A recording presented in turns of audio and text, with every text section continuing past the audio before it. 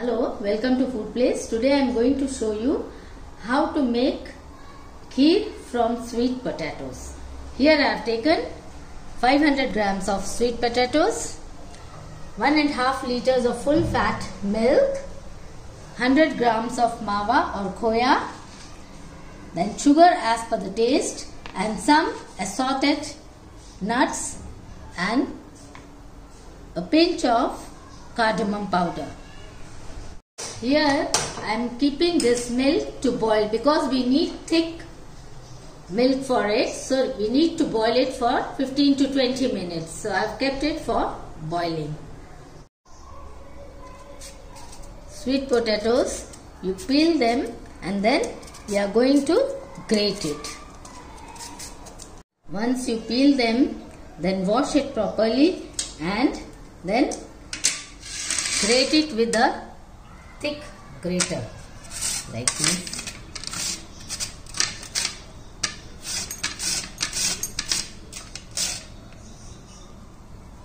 In another kadai, you take 1 tablespoon of ghee and in that this grated sweet potato you put and we have to cook in it. Cook for some time so that it gets cooked in it. It gets cooked very fast. So just you have to roast in it in the ghee. Like this you cook for 7 to 10 minutes. You can see the color has changed. Now we will add this thick milk to it and again we have to cook for some time so that it gets creamy texture.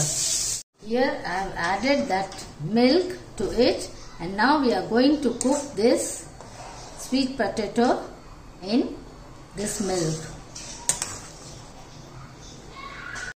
Now you can see that sweet potatoes are cooked here.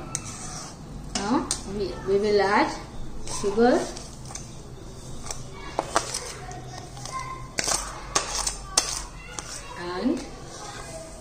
mawa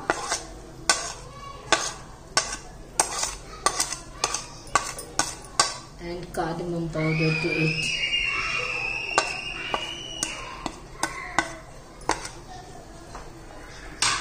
And we cook it till this khoa melts in it.